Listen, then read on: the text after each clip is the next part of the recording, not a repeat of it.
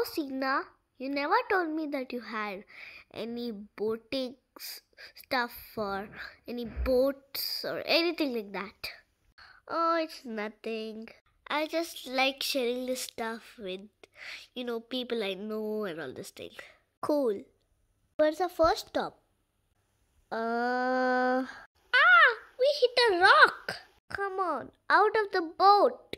That's how I got stuck on a desert island. But it didn't stop there. Bad luck started hitting me from all corners. Hey, what are you two doing on this island? Saved by a lifeguard, was saved by a lifeguard. Wee!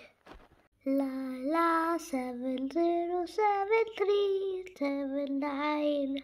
Why aren't you opening? Uh, open, open, open.